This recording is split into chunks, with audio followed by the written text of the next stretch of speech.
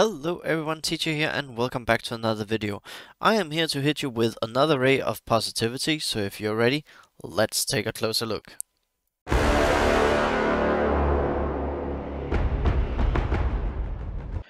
So, a lot of stuff to cover today, I'll try to keep it as short as possible, but uh, let's start off with a lot of positivity and I want to start on a personal note and I want to start off in raids. We are currently well on track at the moment for chest 4, our first yet. We are in uh, chapter 3 and I want to start off with my own personal score because I got my second 900k and I got it with this one here. So Ballin is going with the Rivendell Elves because that is just the easiest way to get it done. Can still take some attempts but I got it done. And then I went into my Gondor Ranger squad. There's still one Ranger here. And the only reason why Miri is not here, with Miri in the squad, it can score around 650k. But what I really need at the moment is survivability. Not that Halbarad doesn't offer heal, but I just need a more tanky Denethor, Boromir, and Faramir. Also Faramir because that means I can swap the um, the provoke around, so you could say the marked from Denethor with his basic, and Boromir can just tank all the way. So I swapped in Naramiri, I did the same last week, I was really pressed for time, so I got 645 in my first run, and I banked it. I don't have any footage to show you today because it's been a long day and I'm tired, so I didn't record it because honestly I just wanted to get my attempts done. So I did that. Uh, my Haradrim uh, whoa, I might actually try this. Um, uh, Sleeper did here with Charu. I know his is level 60, so a little bit more leveled than mine, but other than that, pretty nice. I'm scoring around here with a full Haradrim.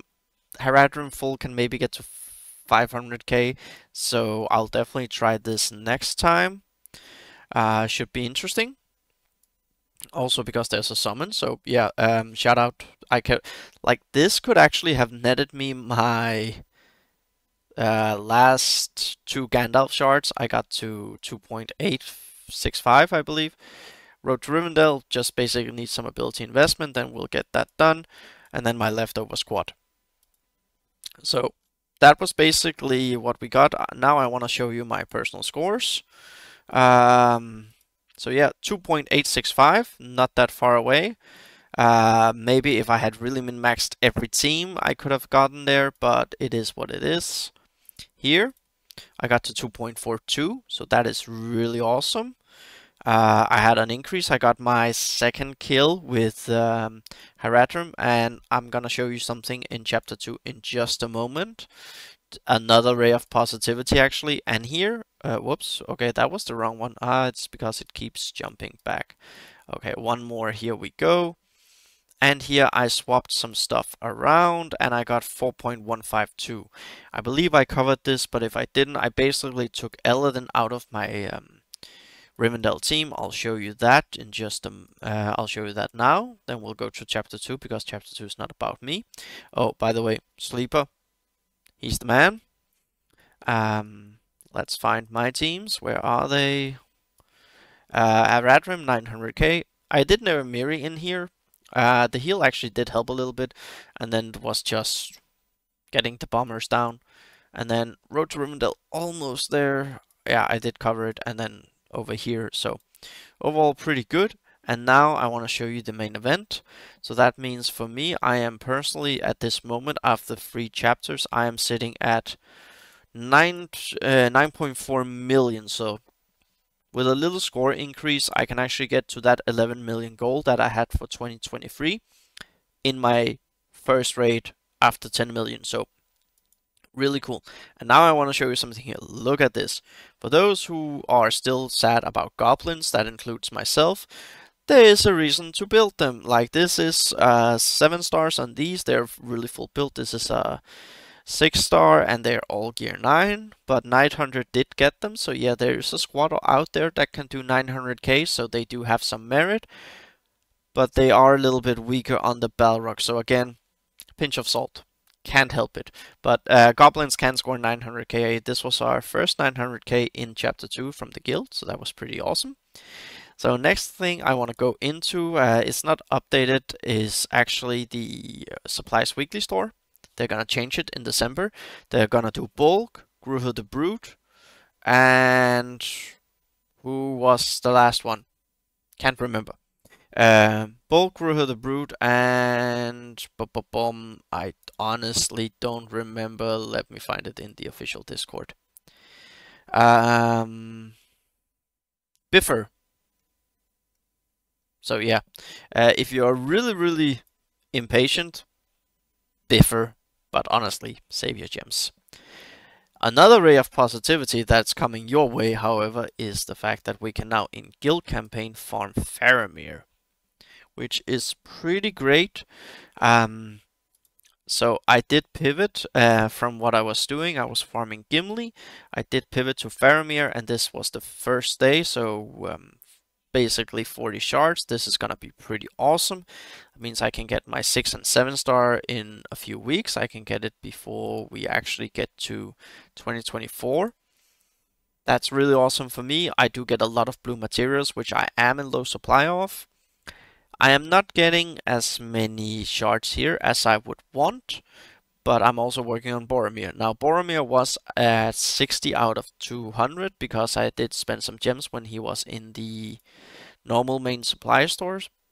And as I'm building up now, and I will be farming Faramir with free refreshes a day for guild energy, if you do something like that, or if you know you are planning long term ahead, I would implore you not to be impatient, but actually buy the 10 uh, the 10 shard stacks. So hold on to it because the shop refreshes once every fourth hour, and you save 100 guild currency.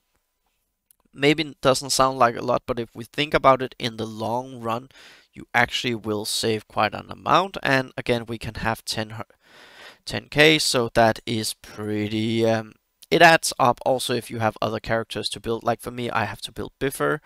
Uh, let's look at Bifur actually first, and then I want to uh, go to my Gondor squad.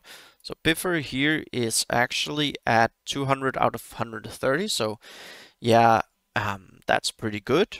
Um, will be better, but I pivoted from uh, from him. Like I did a lot of pivot this week. I did a pivot in my chapter 1 raid, I did a pivot in my chapter 3 raid, and overall pivoting is the way to go apparently. Um, so make sure you think about that. Oh, also Bekelu, she got to um, uh, gear 9. I would actually say this was really, really massive for my um, chapter 2.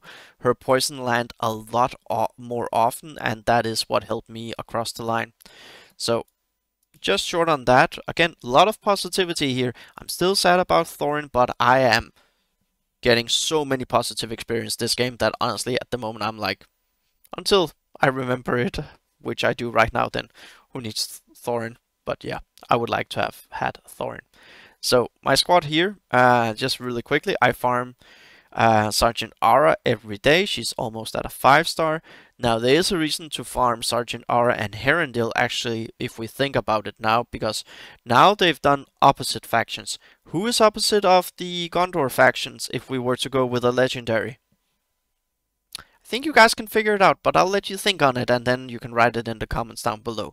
But there could be a good reason. Also, I think this guy right here, he might be moved to the challenge store so free to play, they do have a way to get him, but it will be taking a long time. First Shadow Legendary might come out in February, I would assume, maybe March if they were to do it. It depends how fast they want to do it. The one year anniversary, who knows if that guy comes out at that time. Could be a way to go. Otherwise, Gondor, it's a solid chapter 3 team for you. And as you can see, this is one of the reasons some people like, why are you building Gondor? Why are you so excited? Well, considering I built my Denethor like this, then I'm really excited about working on them.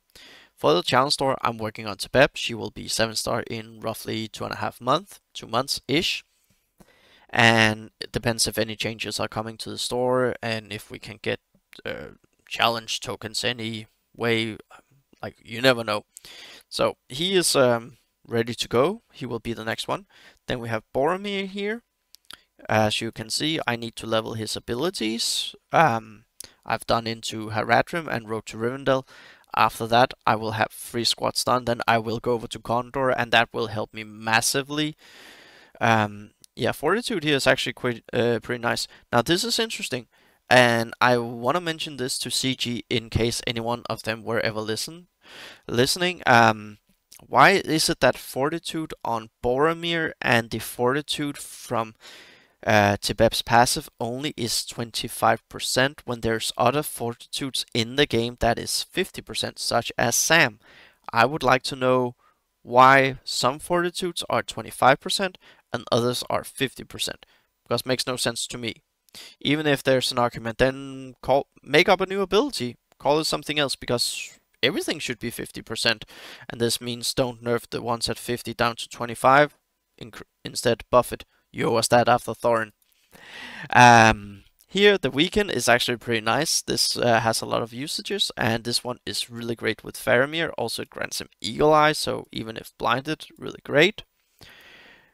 Uh, Faramir, this one does an amazing amount of damage. So, and he is the one when I do finish my Road to Rivendell. Maybe not finish, but when I finish them doing the raid squad that I want them to do, and I will probably have them finished at that time. Then I will go into Faramir and I will probably go into this one first for the Cave Troll to have a slow two-turn cooldown. Um, this one could also be a thing, but not really. I would say I will actually do these two. And the reason why I will do them is because this one is for his um, assist mechanic when he's stealthed, when he attacks an enemy with a Bane. That helps in chapter uh, 2 and chapter 4 also just helps everywhere basically when he's stealthed. And this one for the two turn slow so it does help me um, getting some score there. So that was my Gondors and honestly yeah I'm pretty positive. Uh, tomorrow I will hope I can eke out that last little bit that I need to get a uh, to get to that 11 million because then my goal is actually done for this year in rates. Not that I won't uh, push harder because we want a challenge for that chest uh, for we should get it, but we uh, otherwise we will be really really close. So DK crew, let's get it. And yeah, I'm working on Frodo at the moment. Overall, things are good. After Frodo, I'll probably go into Merry. Uh, no, actually not Merry. I did say Merry, but I actually meant I will probably go into Pippin for his Dispel Boons, his Heal, and his Might. And also this one, uh, so he cleanses some Banes. Never know who gets cleansed, but it is nice to have. Naramiri, she's doing great for me. Miri, I'll also want to build up. I still think Gondor Ranger has a lot of merit. I just need to have the abilities leveled. And Charu, I'll definitely try that next chapter 3 that I just saw from Sleeper. And what else? Oh yeah, Nuras might be a plug and play, but the problem with a Nuras plug and play is actually you need level 6 on this ability. I'm really curious about the work that they have announced. That should be really, really interesting. So we will have a full Misty Mountain. And I did see they mentioned the word tank. And that should be really interesting because a tank uh, these two have some uh, provoke and uh, taunt stuff. So, but if you get an actual tank and then you have like he's a damage dealer, he's last tank, he's a damage dealer, and like you have a lot of way of swapping provoke around and marked um, if you think about it. So I'm really curious about that. Also, the fact is that you will have this troll, then you will have the Stonebreaker you can summon. Uh, this guy, he can do a lot of damage. Uh, he can get some kills. So I'm really thinking a lot. I'm still farming my dwarves every single day, but I am looking at maybe a potential fifth squad elsewhere or some plug and play. So yeah, a lot of positivity. Let me know your thoughts in the comment down below. Perhaps leave a like on this video, and I'll see you all next one. Have a good day.